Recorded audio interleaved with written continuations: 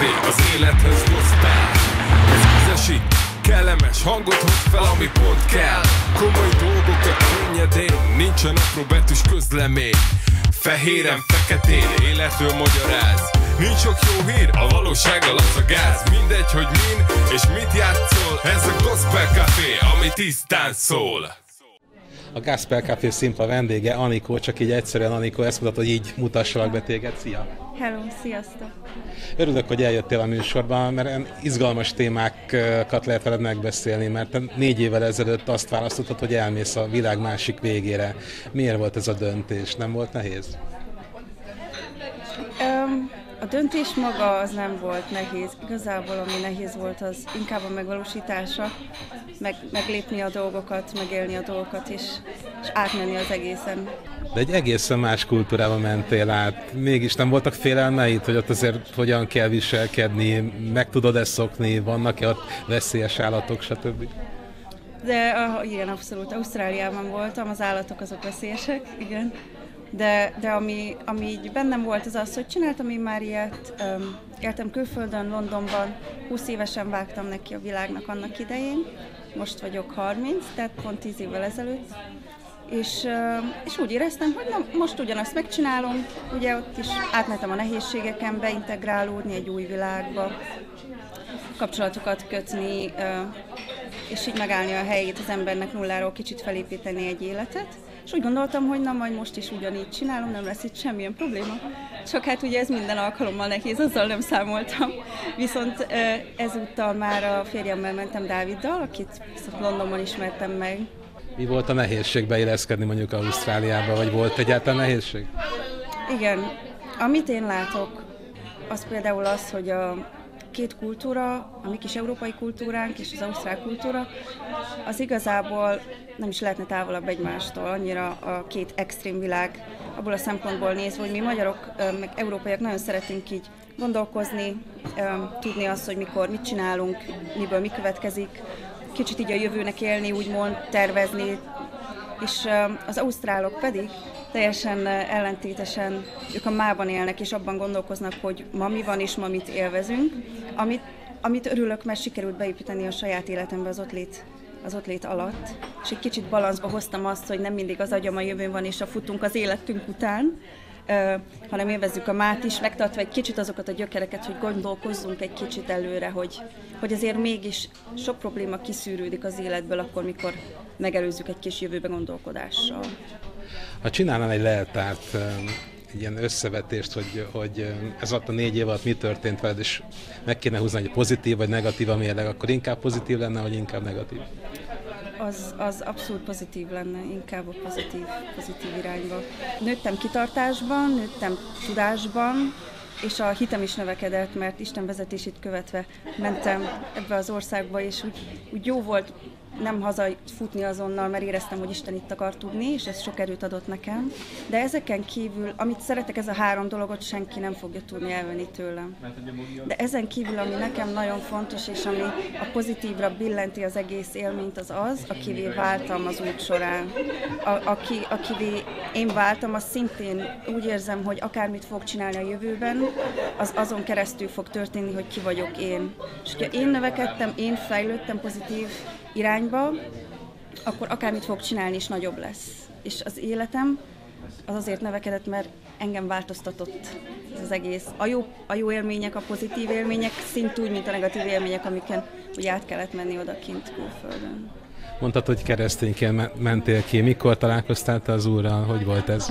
Hú, uh, még tinédzser koromban uh, úgymond akkor tértem át erre a hitre, és elkezdtem Jézust követni, akkor éltem át egy személyes megváltó élményt Jézussal, és egy baptista gyülekezetben nőttem föl, ugye, szüleim is ott voltak, a család is, visszamenőleg is ebben a hitben van, ezek, ezek után volt időszak az életemben, úgymond ezt úgy szoktuk mondani, hogy eltávolodunk magától az úttól.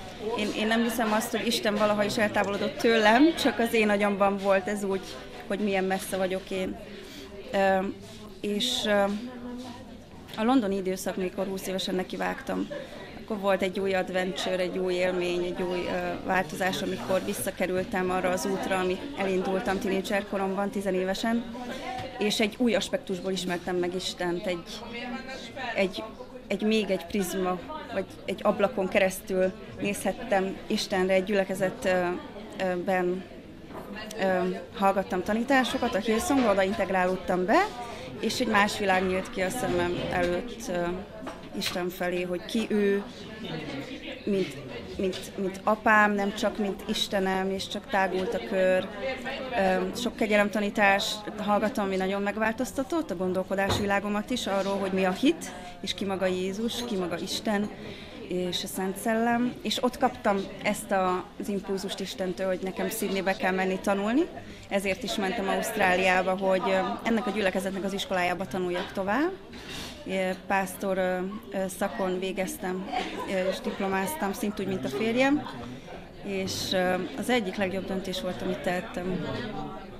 Ez nagyon pozitívan hangzik. Mégis, amikor elmentél, akkor egy saját táplált itten plántált gyülekezetet hagytál itt, ez nem volt nehéz ezeket a barátságokat egy kicsit abba hagyni, feladni? Dehogy nem, igen, sőt, én egy nagyon kis érzékeny teremtés vagyok, ha, ha lehet így mondani. Nagyon szeretek kapcsolódni az emberekhez, nagyon szeretek ápolni kapcsolatokat, én egy, egy ilyen relational ember vagyok, és ugye hazajön az ember, el, jobban mondva elköltöztem Londonba, és hiányoltak az, hiányzottak az otthoni emberek, viszont kialakítottad már az ottani barátokat, és családban érezted magad, akkor um, visszaköltözésnél pedig őket fogod hiányolni. Tehát tudtam, hogy ez be fog következni, és um, valahogy, um, valahogy úgy tudtam ezt a szívembe, hogy én egyszer ott fogok tanulni, én ezt már éreztem ugye Londonban. A hazaköltözéskor már tudtam, hogy nekünk Sydney a terv, és uh, emiatt, emiatt az elejétől fogva úgy mentem bele a kapcsolatokba, hogy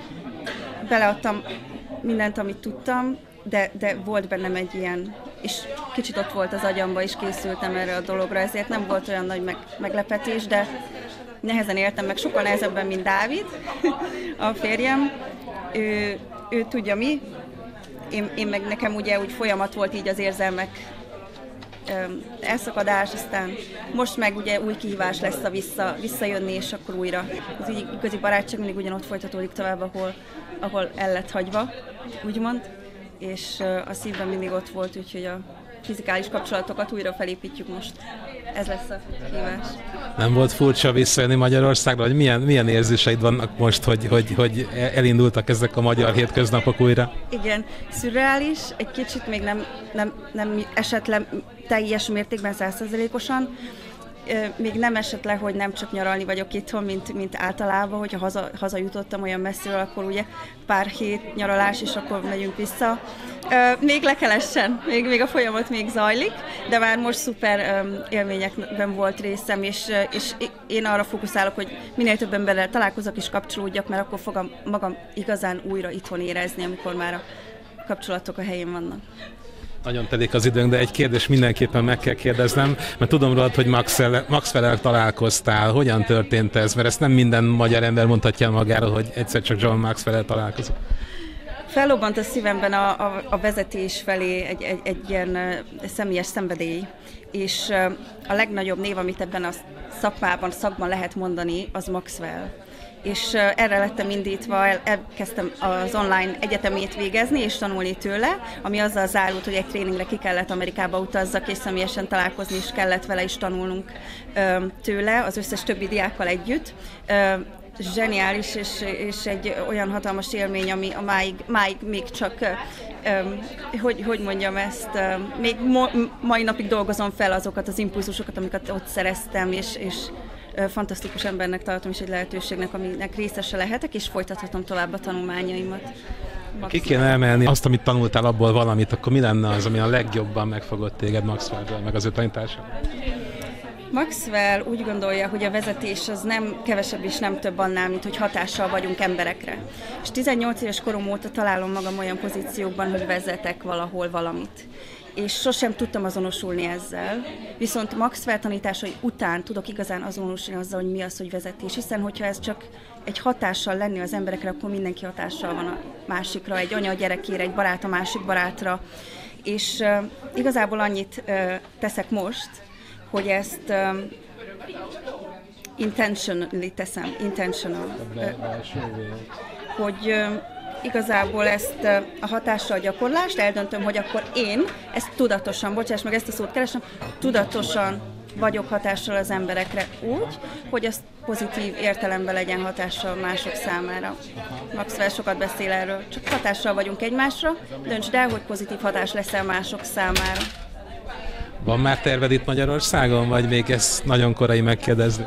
A továbbtanulás az mindenképp, tehát mindenképp mélyebbre akarom ásni magam, és folyamatosan akarom növelni magamban az értéket, hogy majd másoknak is tudjak nagyobb értéket adni. De az, hogy ez hogy fog kinézni, az még, az még, az még folyamatokban van, és először csak kapcsolni próbálok el, hogy merre és hova vezet a, a dolog. Mindenképp a, a Maxwell-lel való foglalkozás szeretném továbbadni más embereknek is, akár coaching formájában, akár tréning formájában, akár csak egy beszélgetés, hogy mi is a vezetés, vagy mit gondolunk vezetésnek a mai világban, és inspirálni a, a, a körülöttem levő embereket, elsősorban saját magamat vezetni, és majd akárkit, aki körülöttem van.